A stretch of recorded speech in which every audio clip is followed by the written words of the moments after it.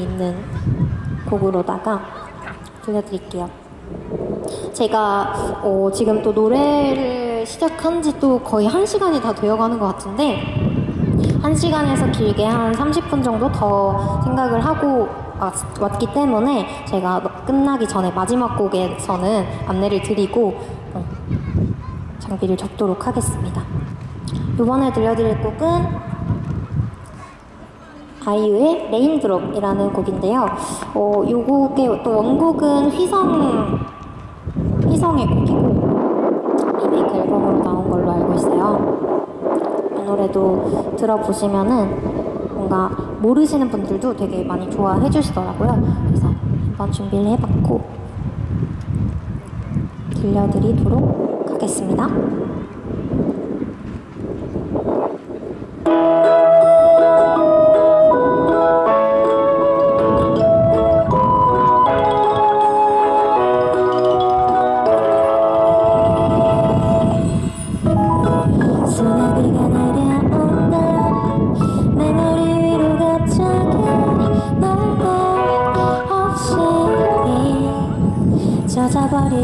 젖어버리겠네 추억이 흘